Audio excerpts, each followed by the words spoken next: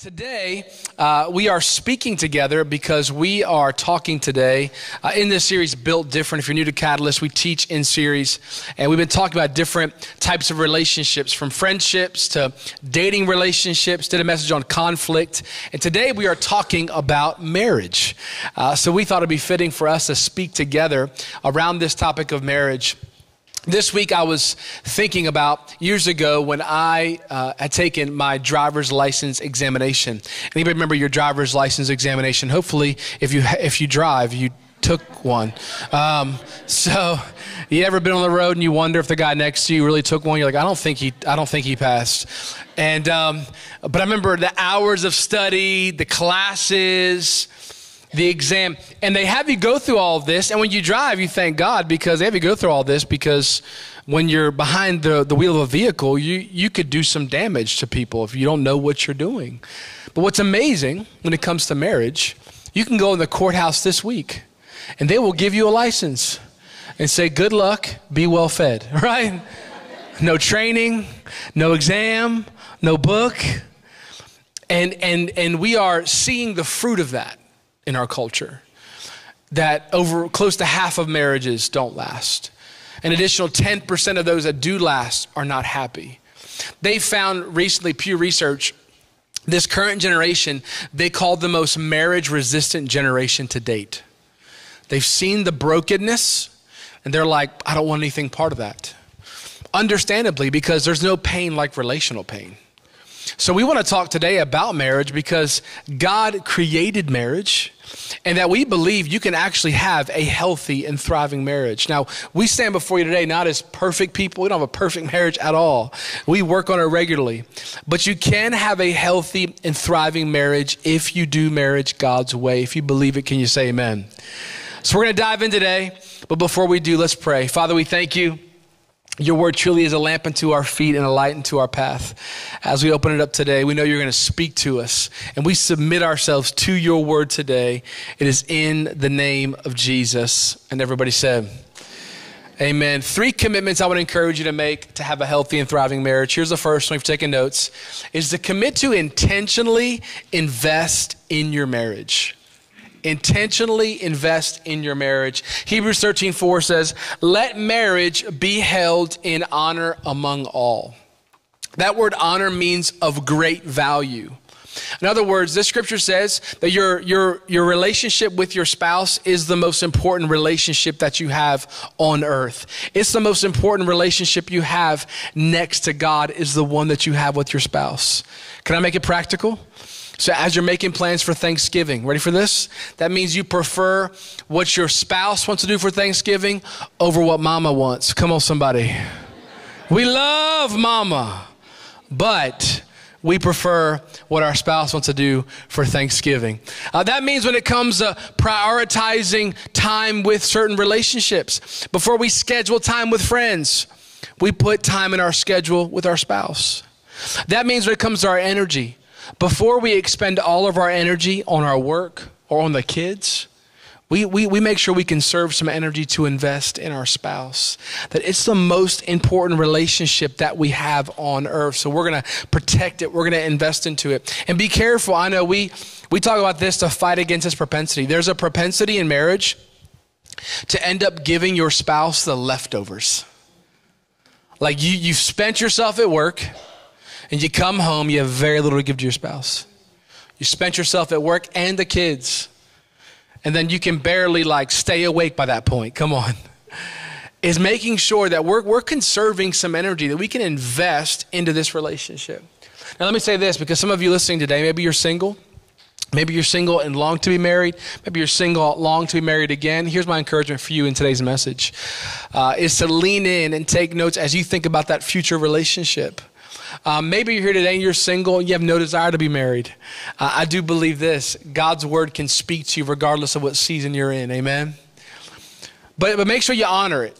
Genesis 2 says this in verse 24 that this is why a man leaves his father and mother and is united to his wife, and they become one flesh.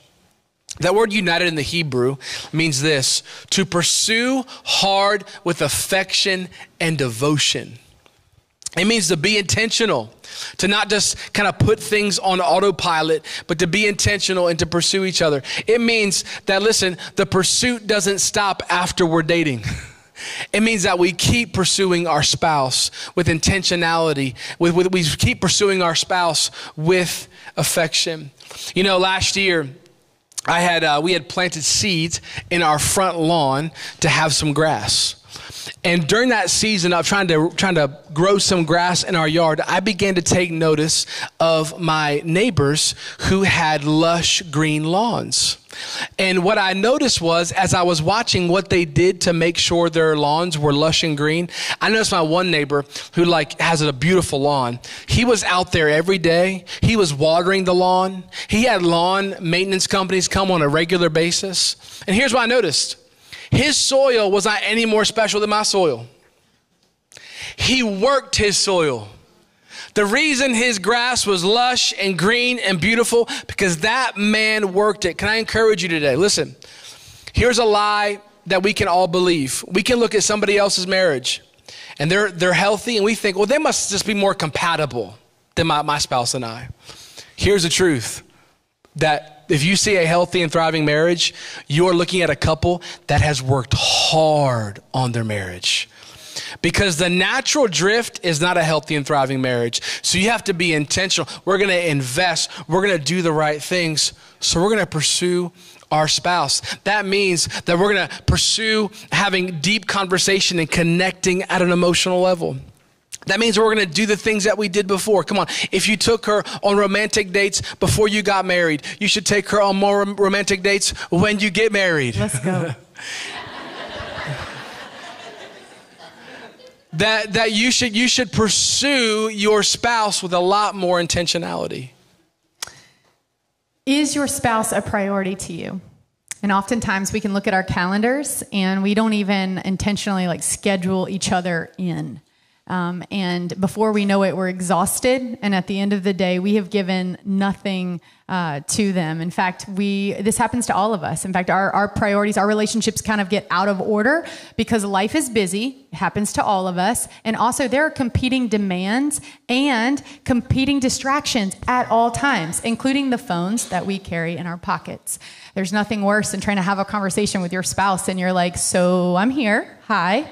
Um, this has happened to all of us. We've experienced it, but we've got constant distraction. Um, prioritizing our spouse might look like saying no to another kid's activity for the parents in the room so that you have a little bit of margin in your emotional capacity to be able to connect with your spouse. It might also look like saying no to a girl's night out or a guy's night out even though you've planned it, but you know there's distance between the two of you, and that is time you're going to intentionally take away from what you should be investing in. Those things are important. We need to have friendships outside of marriage, we need to have that, but not at the expense of the other person. Um, for all of those working full time jobs and home responsibilities, it is very easy to give everything you have to work and leave nothing left for each other. And then you end up just taking, taking each other for granted and what you do for one another to keep your life moving. In fact, Romans 12:10 says, "Honor one another above yourselves. Never be lacking in zeal, but keep your spiritual fervor serving the Lord." In other words, when we choose to honor one another, what we're doing is we're actually serving God.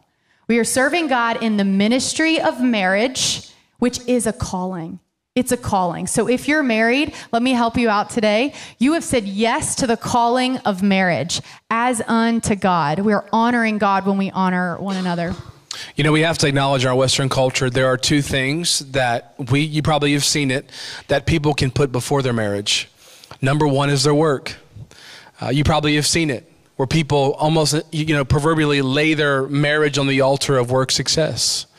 Or it's kids. Like kids get everything and and and you have very little. So you have to be intentional about this. Uh, I love Pastor Craig Groeschel wrote a book he and his wife uh, called from this day forward. And he, he says this because i love to just make it practical. He says if you think of something nice to say to your spouse say it. That's a simple way to make an investment. Hey fellas when your wife walked out of the house today and you thought she is looking good don't just think it say it. Come on if you think to yourself when you come home, maybe your spouse cleans the kitchen and you think to yourself, wow, this kitchen looks incredibly much better, is to say it. If you see the way they handle maybe a misbehaving child and you think, wow, they handle that so well, say something. Like if you see, if you think of something nice to say, say it. And then on the flip side, if you think of something nice to do, do it. Like tomorrow morning, man, I'm gonna make their coffee before they get up. Do that. Or if you think, I'm gonna cook them their favorite meal, do that. Or if you cannot cook, do not cook them their favorite meal. That's not romantic.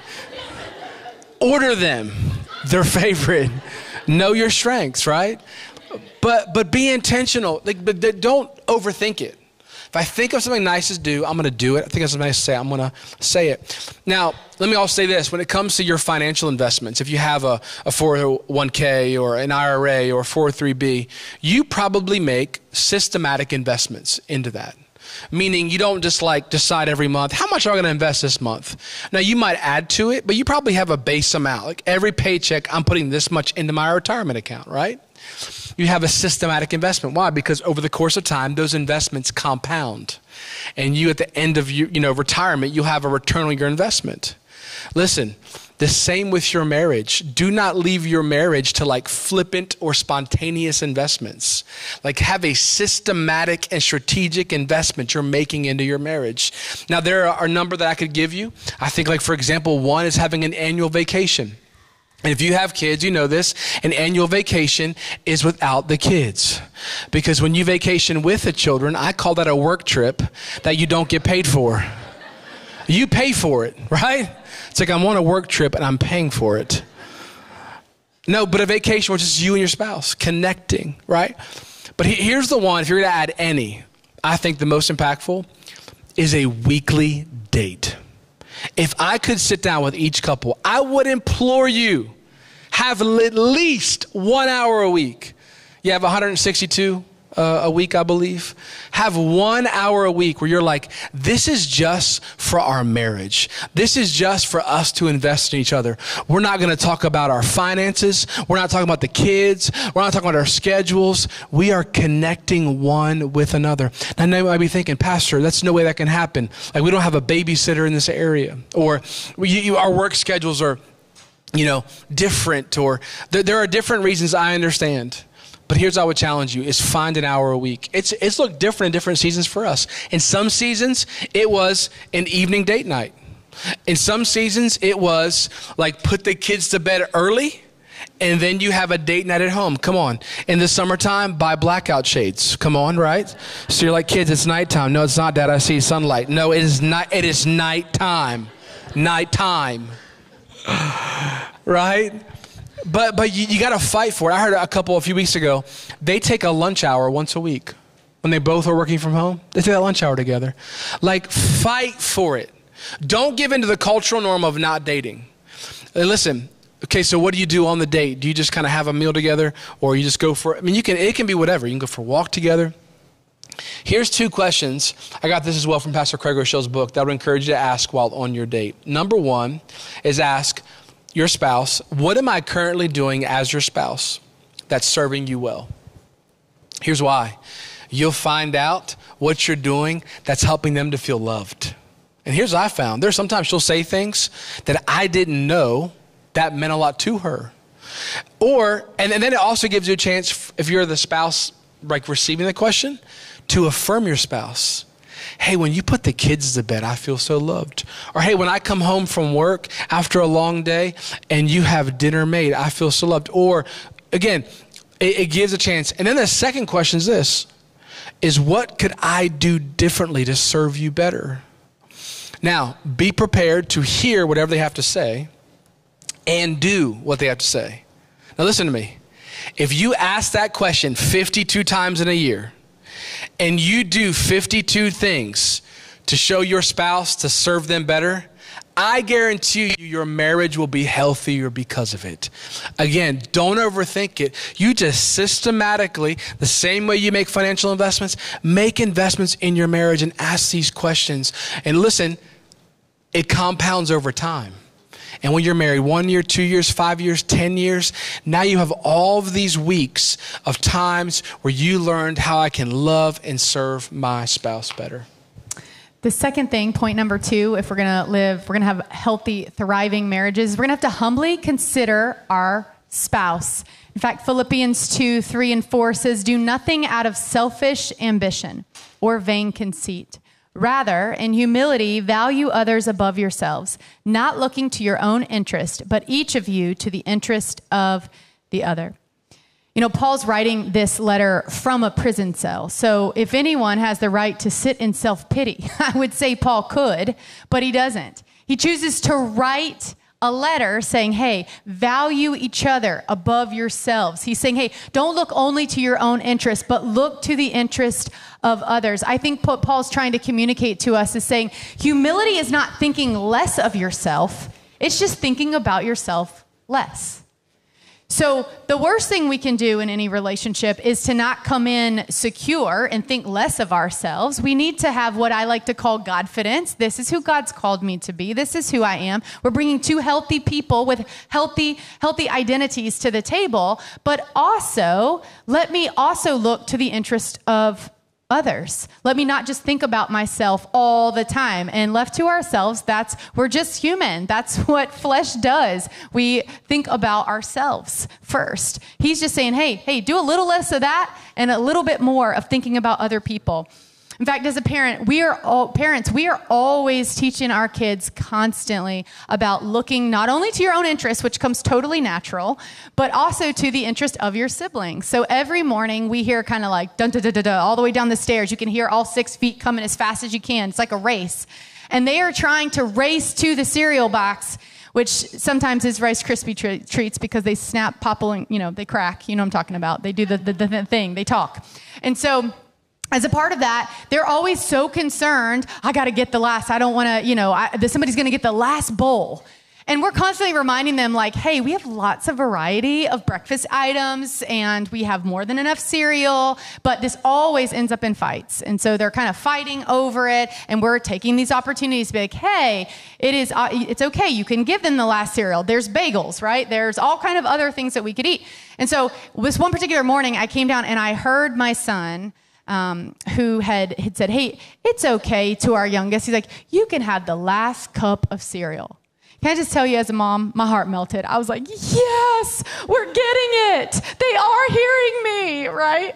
Um, and then what, what was interesting is that my son also he went to his next best alternative for breakfast and found out there was only one teaspoon of the amazing maple syrup left and he gave it to his older sister and in this moment, I thought to myself, man, I wonder if my son caught the joy of giving and he caught the joy of what it means to put others, not only thinking about myself, but I'm going to think about other people. And it was contagious to him. He's like, oh, that felt great. Let me do it again. And as we take that approach in our marriage, oftentimes we can, if we're honest with ourselves, be like children. We're like, I got, I got to get mine. I got to make sure I get what I need. But the reality is, yes, we should consider our own interest and speak up for what you need. But also, if we'll take a posture of thinking about the other people, then you typically can't outgive each other when you have this posture.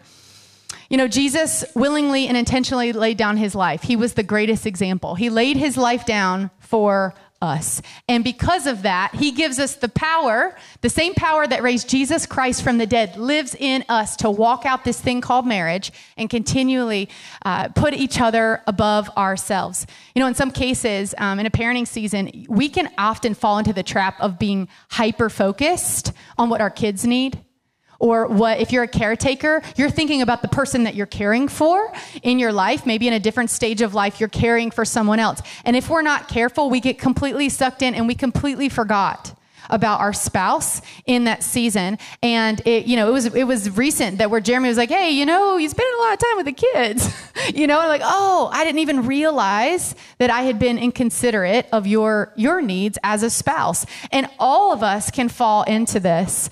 Um, for others of you, it's work demands work is so intense. I've talked to many of you, and it is taking so much from you that you have no emotional bandwidth for your spouse.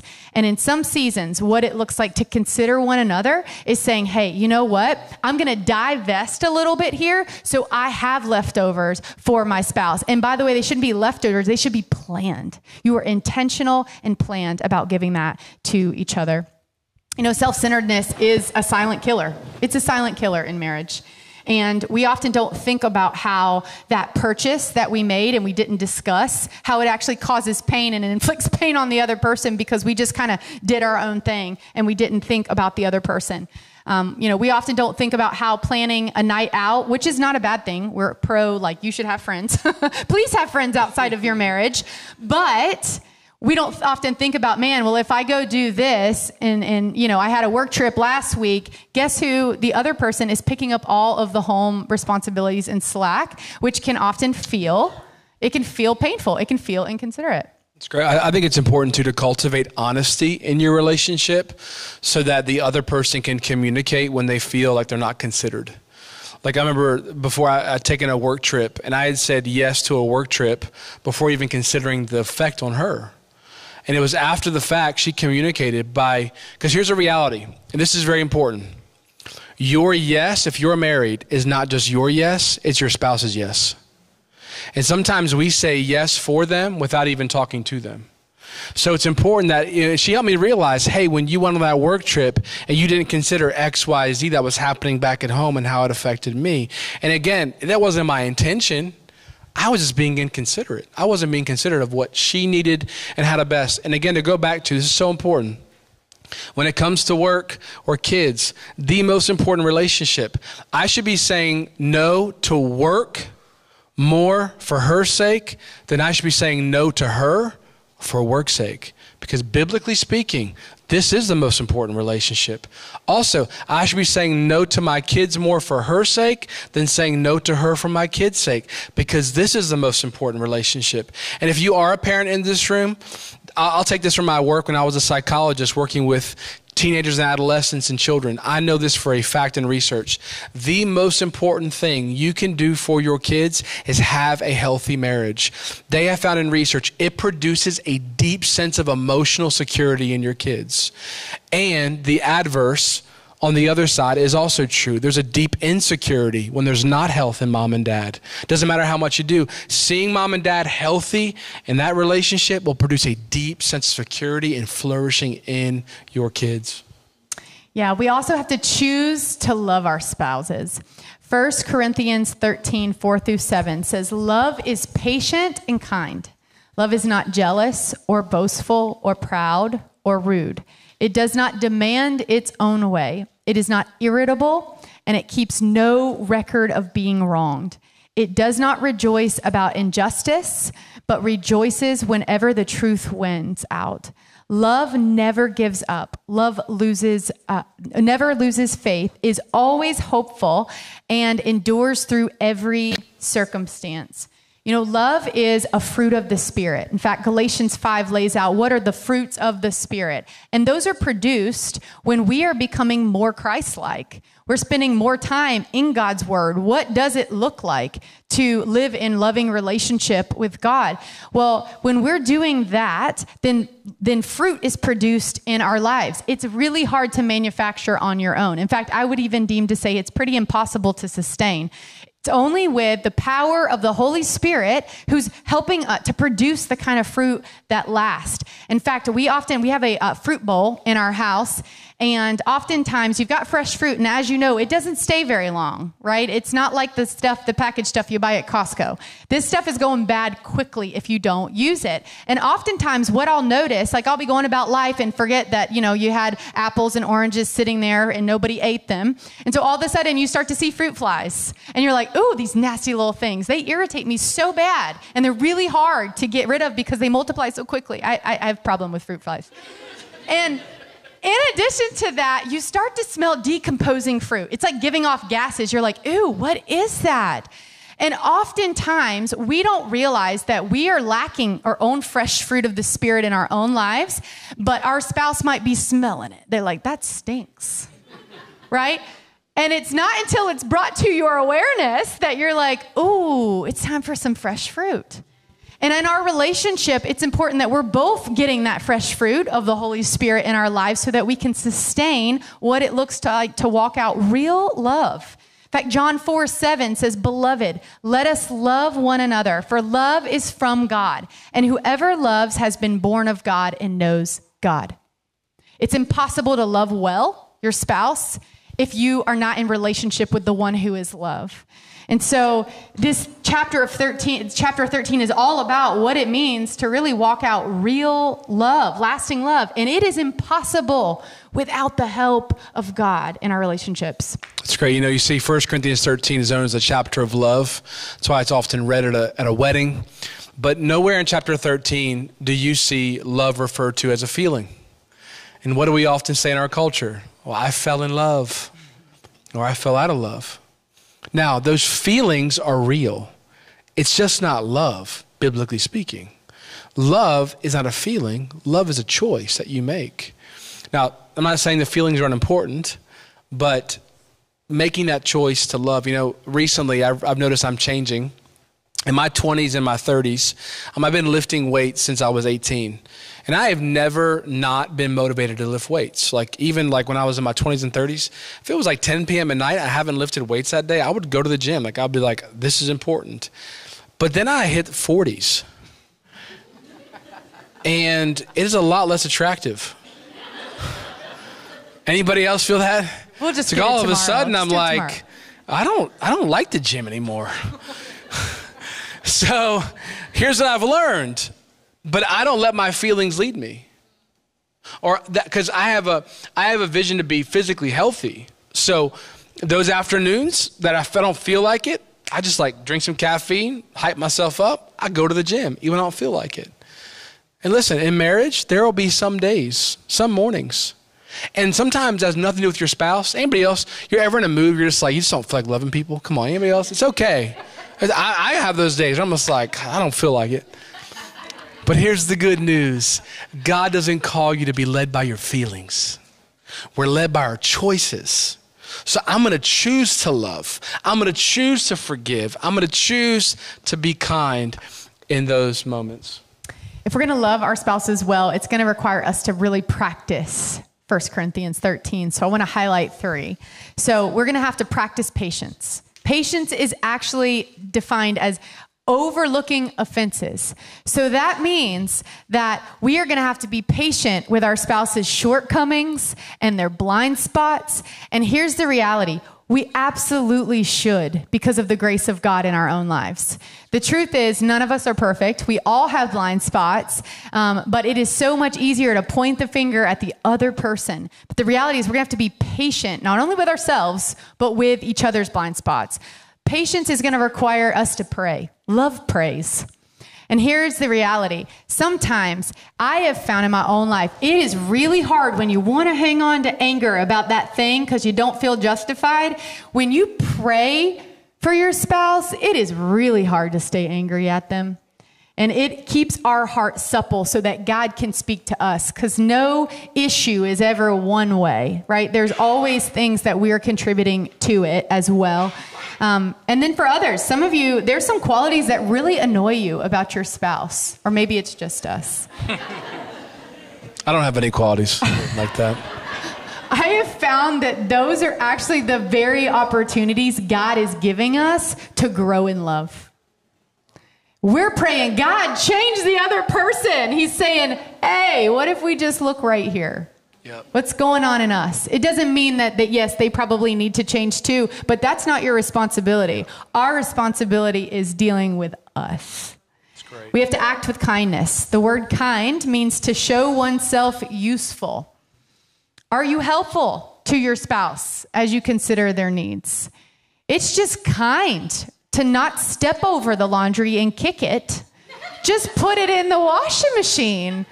It's those small acts of kindness that allow us to exemplify the love of Jesus to our spouse in those things. It's just meaning sometimes if we're left to our own, we're going to just think about us and what we need to do and where we need to go and not think about the ripple effect of how it impacts each other. In fact, if your spouse is making dinner, kindness looks like doing the dishes. If your spouse is bathing the children and putting, and, and you know, maybe kindness looks like, hey, I'll put them to bed. Maybe kindness looks like, man, I, i am kind of, I mean, I'm having a crop crush in this work week and I got everything done and I got some extra energy. What if I just kindly took a step further and actually picked up some of theirs just because I love them? That's what kindness looks like. It also looks like keeping, uh, the third thing is just to keep a short account. So love doesn't keep record of wrong. And if, if I have any honest spouses in the room, they're probably at least one scorekeeper in the family and in that relationship. And it tends to be the person who they're, you know, they're constantly looking at the unbalanced scorecard, typically. That's the person that typically tends to hold the scorecard. Like, you know, for two years, you missed taking out the trash 10 times. Let me give you the dates of when you missed it right? Or, hey, it was your turn to actually go get the oil changed. Um, and for six months, I have been the one to do it, right? It's those kind of comments yeah. that are not helpful. In fact, especially if you've solved an issue, it is unfair to resurrect that issue again. It's under the blood of Jesus. We have got to move on. We also have to have a never give up spirit in marriage. Love says, don't give up. Don't give up. In fact, some of you have drifted apart because maybe the romance is gone. Well, maybe it's just time to return to the things that we did when we fell in love. How did we start? I think we're due for a long walk on the beach soon right? There's just some of those things that we just haven't, we stopped doing the things that we once did. And, and oftentimes it's just life circumstances change. And the pressures of life become so weighty that we forget to do those things. And before you know it, you've become business partners and you're tolerating each other. And those are the moments, it happens to all of us. Those are the moments to say, ah, wait a minute, I need to start practicing love actively and choosing love differently. In fact, some of you are, maybe you've experienced pain and betrayal in your relationship. Maybe some of you have some trauma that related to the relationship. That is the time to go get help. Don't suffer silently. These matters are going to need a third party. You've got to go get counseling. Maybe you start with a biblical guidance that we push you towards counseling for the long haul. For others of you, you just need accountability and you're lonely in your marriage. Jump into a marriage group. Get into a marriage group. Do a book discussion. Get a marriage coach. They're everywhere. Get the right ones, by the way. The ones that are going to point you towards Jesus. They're not like, you go, girl. You do deserve that. You don't need that. You don't need that in your life. You don't need it. It's a great caveat. Here's, here's the last point, and at the risk of sounding cliche, it, it is the most important, and that is to keep God at the center of your marriage. Um, you know, there are lots of things in our life that can be the center of our marriage. Our marriage can revolve around our work schedules. That what determines when we spend time together and how we spend time together is what's the work week look like. It can be our kids, right? Their kids' schedules and what the kids are taking from you can determine it. Um, it can be a lot of things. It can be can be building wealth and possessions. Now, all three of those things are great things. There's nothing wrong with them. They are just terrible foundations on which to build your marriage. And you need a foundation that will last through the years. And the only foundation the Bible says is a firm foundation for your life is building it upon Jesus Christ. It's building upon your relationship with God. Jesus in Matthew 22, he, he said it this way He says, Love the Lord your God with all of your heart, all of your soul, all of your mind. This is the first and greatest commandment. In your marriage, there are many things you will do together as a married couple. You will, you will raise kids together. You will build a life together. You, you will do many things in your life together. But the most important thing is seeking God together. The most important thing. And Jesus says this is the first and greatest that you make sure that you are seeking God first. Let me give you some practicals on how, how you can keep God at the center of your marriage. And there's kind of some levels I'll speak to of this because some of you are living parts of this out beautifully. Number one is to worship together. I commend you today. You're worshiping in the house of God. There's power in worshiping together. Take it a step further. Don't just attend church and worship together, but at lunch or later that evening, while you're having a meal is ask yourself, ask each other, hey, what did God speak to you about in that message today?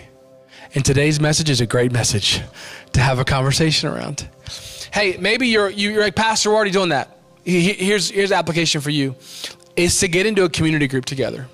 I know we have we have several groups that are for couples, and then we have other groups that are just great groups to join. We, we were actually speaking this week about in our marriage the, the seasons where we grew the most. We were in a group together, and then the last part, maybe you're already doing that. I would say is serve together. I have seen even today couples in our kids ministry, first impressions, our our worship and production teams, couples that serve together. There's a joy that that brings serving together and being together is putting God first by worshiping and being planted in the house of God.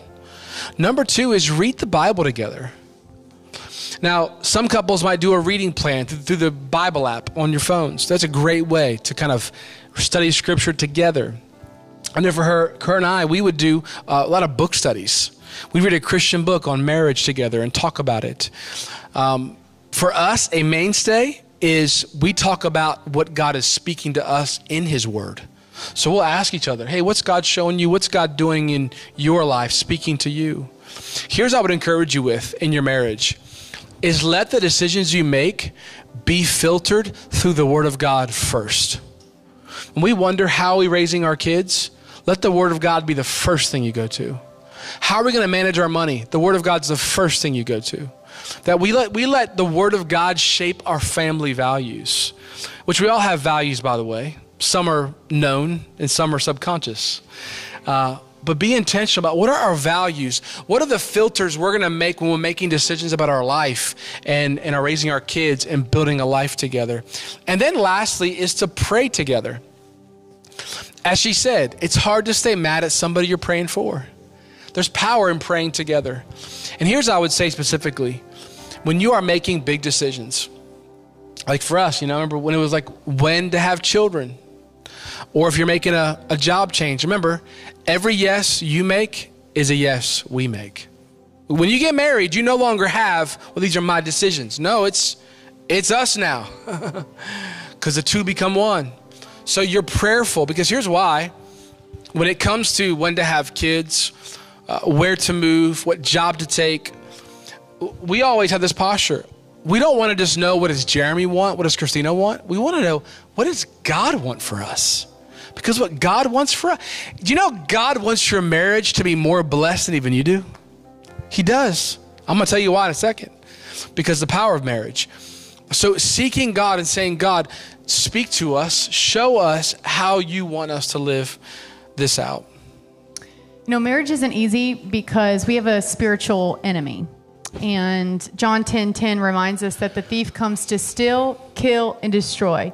And I have come that you may have life and have it to the full. So Jesus is saying, hey, you have an enemy, and I've come to, to give you life to the full, but you need to be aware that he is working actively against your marriage. And the reason for that is because Christ in the church, this is marriage is a representation of that. It's Christ's love for the church. That's why he calls us a bride and he's the groom. Because if the enemy can, can get there, he can break down families and generations that need to, to know that they have a creator that loves them and desires to, to live in loving union with him. And, and this is how the enemy works. And, um, and so sometimes I think we, we can get, um, we think it's just us, right? It's just our flesh. It's just him. It's just her. But the reality is that you have an enemy who's actively working against you to make you think that each other are the enemy. When the reality is often we just have to get on the same page that, hey, we have a common enemy and it's not each other. Yep. And um, you know, one of the things that I have to ask myself oftentimes is how do you, how do you know if fighting if you're fighting the enemy, like a spiritual attack on on your marriage? And one of the things is, do you find yourself actively thinking about which is out of character for yourself? Man, what would life be like if we if we hadn't gotten married? Did I make a mistake? What would that look like if if if I just returned to single life? And that looks better than your current situation. Another way that the enemy kind of plants those seeds of doubt is when you find yourself just fighting over petty stuff. You know, you squeeze the toothpaste the wrong way, and you've done it for like 10 years. Right? It's those petty things that you just start getting really just irritating you, right? And before you know it, you're edgy with each other, right? Those are great moments to just take a step back and say, you know what? Is there an enemy at work here? Because I'm I want to be, we're on this hashtag same team. Same team. It's great. It's great. You know, there's the Ecclesiastes, it says, a cord of three strands is not easily broken. And relationally, it's referring to the two of us in marriage and God. And here's the reality um, that, that as we kind of close today is that marriage marriage takes work. Um, it's it's for everybody, but it's worth it it's worth the work. And you're going to have conflicts in marriage. And if you're not married yet, you will have conflict in your future marriage. you will. But here's the reality is that with God at the center, your marriage can be healthy and thriving. You're going to have differences. You're going to face difficulties. And some seasons will be harder than others. But with God at the center, you can have a healthy and thriving marriage. And God, as we see the scriptures, He is so intentional around marriage, and here's why. Because your marriage has a much bigger purpose than you. Ephesians 5, Paul says this that marriage is actually a picture of Christ in the church. That, as Kristina mentioned, we are the bride of Christ, and He's referred to as our groom. So, watch this. This is the Bible speaks the most powerful message of the gospel that we will ever preach is our marriage. Period. So if I am the enemy of your soul, John 10 10, what is the one thing I would love to mess up so people's perspective of God's love will be messed up? It's marriage. Can I tell you, this is why it's so important, church, that we work hard to have healthy and thriving marriages because it's not just about your happiness, it's about the gospel of Jesus Christ. So when they see your marriage, they see a glimpse of the love that God has for them, and it causes people to believe in the gospel once again. This is why marriage is so important. It's not just we would have a great life together. Yes, God wants that. But it's that this relationship, people would see it and they would see a glimmer of the love that Jesus Christ has for humanity. So I want to encourage you, as the scriptures say, honor marriage above all. Because it is the relationship of greatest value in your life. If you receive God's word, can you say amen, church?